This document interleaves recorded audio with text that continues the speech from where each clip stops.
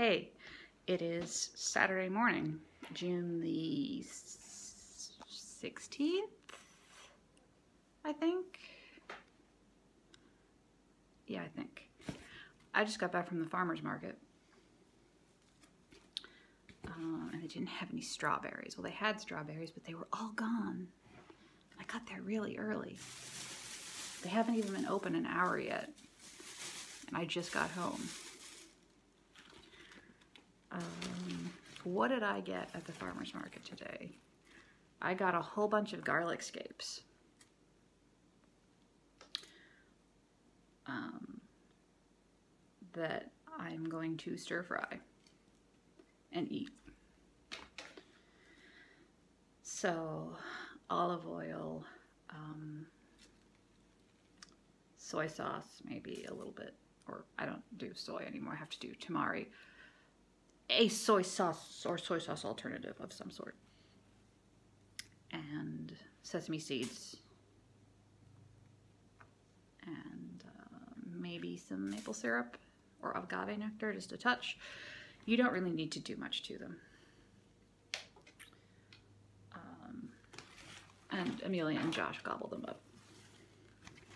I got two things of broccoli that look like this. How it grows. And I got two. Two.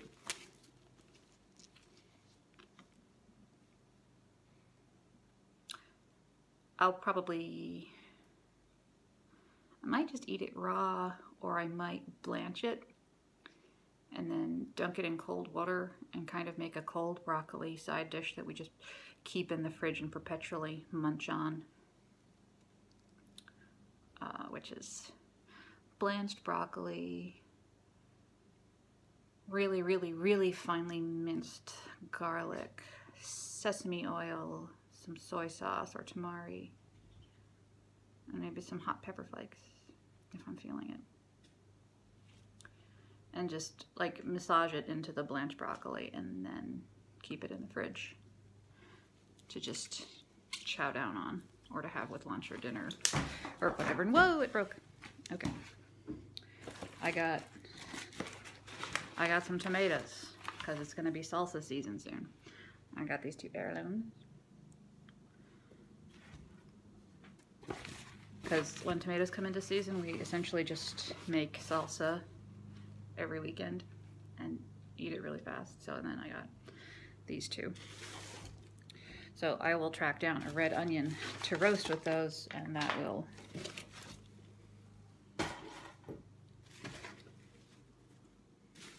that will start the salsa process. And then I got some green onions, and I got two bunches of curly kale that's probably just going to turn into kale chips, I'm not going to lie. And there were other vegetables there that I wanted, but I would be the only one to eat them. And I just didn't feel like dealing with it this week, like beets and zucchini or courgette for those of you who don't call them zucchini. And then the aromatherapy lady cornered me, and I don't believe in aromatherapy, but I'm conflicted because I really like the smells of some of them. So I let her talk me into buying a hand soap for the bathroom. Which is Castile soap, argan oil, Palmarosa, sweet orange, lemon, and peppermint essential oils. It smelled good. That's pretty much the only thing I appreciate about aromatherapy. Because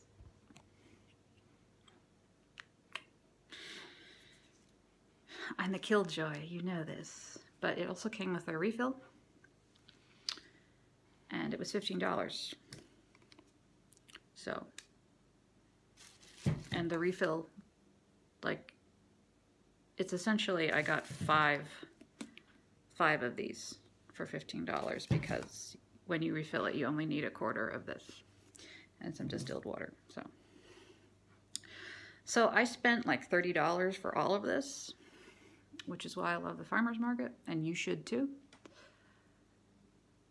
Uh, I'm gonna put this away and I'm going to start making cookies for my friends because we're going to their house to help them sit Shiva around 4.30 today. And yeah, that's what's going on on our Saturday morning right now. So, see you later. Hey, it is Monday. Monday what? June 18th. Um, the week of hell begins. So I have an exam on three chapters on Wednesday, the day after tomorrow, and then my final exam is a week from today. This might be a short vlog this uh, this week. Uh, anyway, uh, the weather is beautiful. It's hot, but it's beautiful. And I don't have that much progress to speak of on Candleman, but I finally got some work done on the sock. Still not showing true to color. That's really irritating. I decided that I just couldn't bear to do a heel flap. I just wasn't feeling it, so I'm doing a, just a regular basic short row heel. Um, and working down the foot now. So that that's all that's going on there. Uh, when my final is over, because I'm not going to let myself do it before. When my final is over, I will sit down and I will go through my fiber stash and get some ideas of what I might want to uh, prioritize during Tour de Fleece. And then I will go through my WIPs and try to figure out how I'm going to approach Arbitrary August. Um, and I'm thinking I might also go through my pattern stash, um, both to kind of show you what I have. It's not very big. Um, and also just kind of reassess how I feel about everything in my stash. Do I still love all of it? If not, maybe I should pass it along. We'll see, but that's that's not happening this week. Not not happening. I am going to take my very last online quiz for this class. I'm going to keep an eye on my cat to make sure he doesn't break things. Um, I'm going to have some lunch. I will allow myself one floss tube video. And then a studying I will go. So I will check in with you a little later. Maybe I'll show you the garden. Strawberries are ripening rapidly. So see you later. Hi. I haven't vlogged for most of the week, and so I thought I would uh, sit down on this Friday morning before, since I've been uploading on Fridays lately, and show you some stuff. My final exam for chemistry is on Monday. I'm not panicking because I'm not that worried. That's not to say I'm not going to study a lot this weekend, but I'm not worried. I'm pretty confident. Famous last words? Maybe. I have some things to show you and some things to talk about. Um, first thing, I have an FFO. I took the uh, Little House Needleworks uh, Bless Our Home uh, thing that I stitched to the framers and I got it back today. I'm so pleased. I really hope my in-laws like it. Very, very happy. Very, very happy.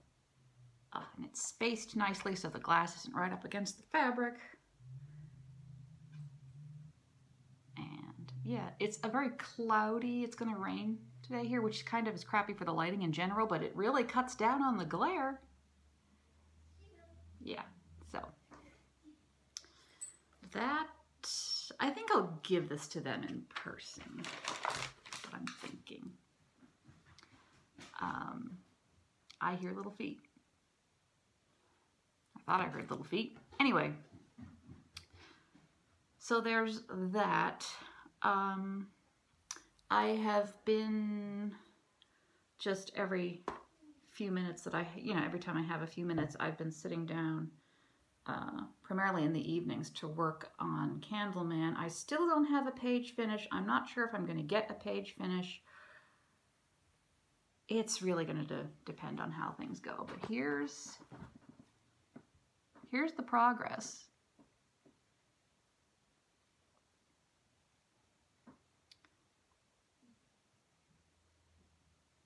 the um, like down in here is where it slows me down. Like over here, I mean, it doesn't take long to stitch those, but confetti is just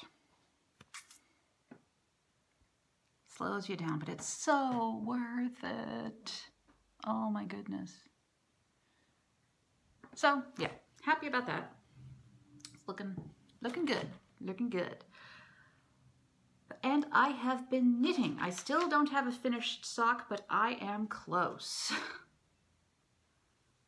I am close. Uh, so again, this is, uh, the pattern is Hermione's Everyday Sock. It is a free sock pattern you can find on Ravelry. And the yarn is Blue Moon Fiber Arts Socks That Rock Lightweight in the colorway Song Sung Blue. And last I checked, it is still available. So I'm guessing maybe it's not a limited edition. It was just... Uh, a coincidence that... I mean, it's obviously a Neil Diamond reference, but I, I, I think it's perhaps a coincidence that this showed up around the time he announced his retirement. I don't know. You'd have to ask the dyer. And I'm still really annoyed that it looks so washed out. It's a lot prettier in person. Um, that's kind of all I've been doing. I have been, where are you? There you are. I've been plugging along on this book. Um, really enjoying it. Extra, extra getting into it now. Uh, I hope to finish it by the end of the month.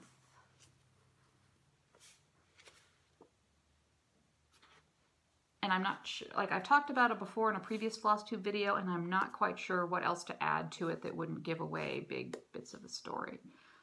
Um, but if you like historical light fantasy. Um, I mean, it's Arthurian, so it's it, it's it's it's Arthurian legend. There's talk of a dragon, but if you're generally not into into fantasy or historical stuff, it's still I don't think it's it's gonna rub you the wrong way. It's just a good story. Um,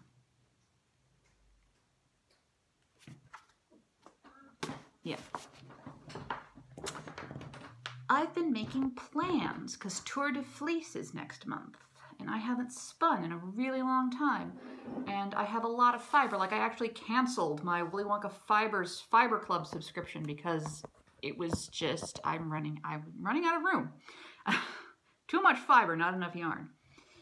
So my plan, because summer school, I still want to participate. So I have decided during Tour de Fleece, I am going to for sure sit down at the wheel for minimum 30 minutes a day.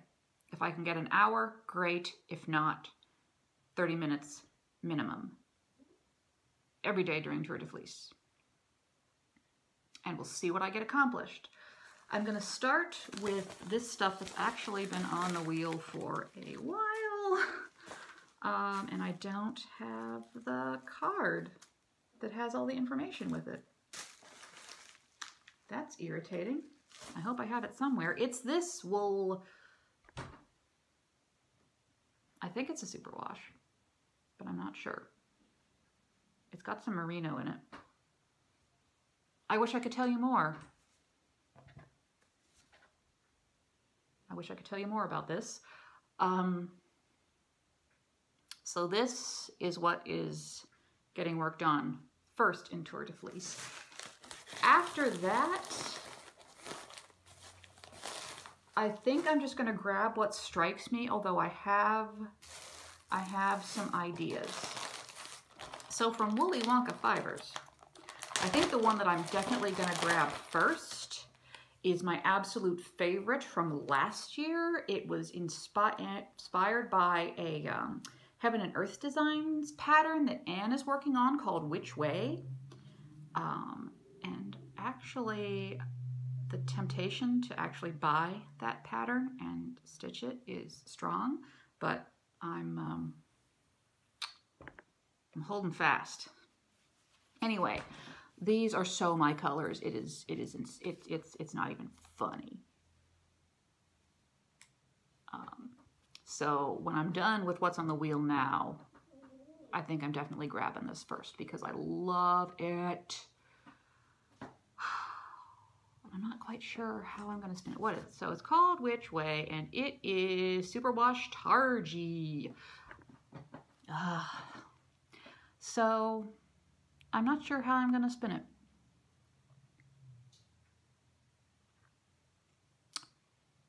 Kind of want to make a kind of want to make a cowl, kind of want to have something that I can wear all the time. You know, I kind of want to have something that's not only for when it's cold outside and I'm about to go outside. You know, I want to be able to wear it indoors as well. So we'll see. I have some time to think about it. But this, so this is a front runner. Um, and honestly, I'm not, I'm not convinced that I'm going to have time to do more than, uh, than these during Tour de Fleece. But I'm going to show you some other pretty things because why not? Last year, my dear friend I, who I've known for many, many years, sent me for my birthday some Noils.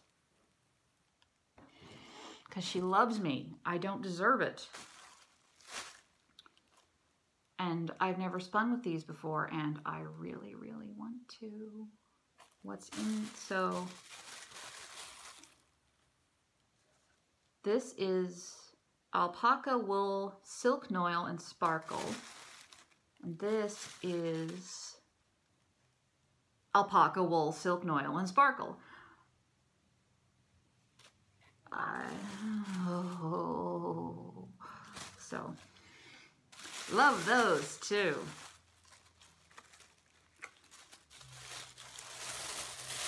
And some more Wooly Wonka fiber. This one I really love and want to spin soon because Anne took my idea for color inspiration and ran with it. I suggested um, Dune, something from Dune. And so this is Melange. Like you can see the spice and the blue that your eyes turn when you've been using the spice for a while. Oh, this is Shetland. I love Shetland so much. My friend Lisa in Northern Maryland, who owns Feederbrook Farm, you can find her online. Most of her sheepies are Shetland, and they are so sweet, and I love them, and I need to go down there and visit her and pet them because... Side tangent. Anyway, melange. And then uh, another Wooly Wonka Fibers braid, mostly because uh, this is the first one I got, so it's kind of the oldest Wooly Wonka fiber braid in my stash. Uh, this is Cottage Garden, which is Polworth mohair and silk. Super, super pretty. I know quite a few folks who would love something made with these colors. Um,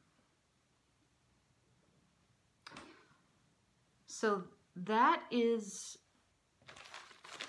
as far as tr trimming down the fiber stash, uh, these are the front runners. Um, they're what I'm going to reach for first. Is that all I have to show you right now before I sign off? Um,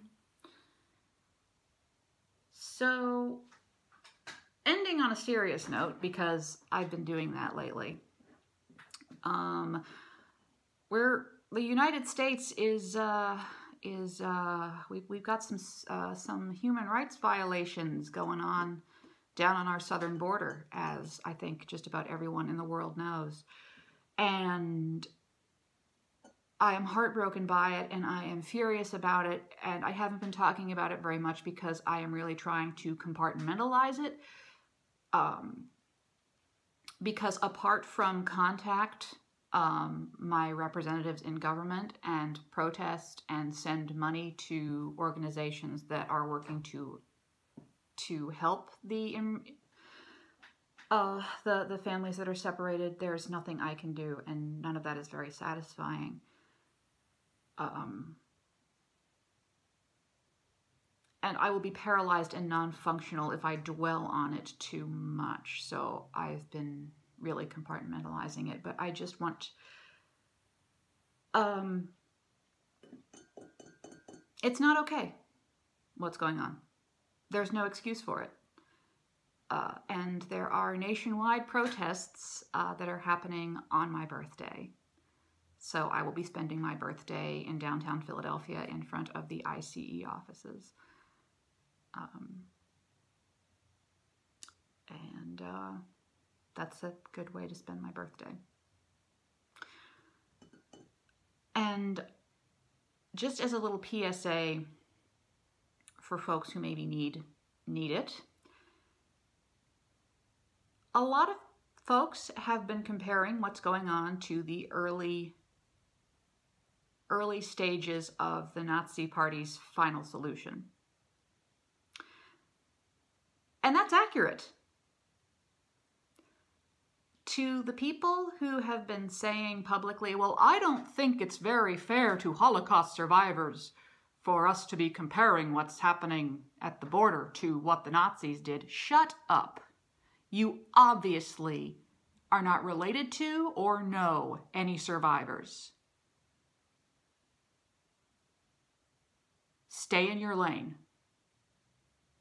If you even talk to someone who lived through that and heard what they had to say, I think you will find that they feel it is a 100% accurate comparison to make. So remember that. Uh, yeah got heavy there, but I don't care because yeah, it's what's going on and it's what I care about and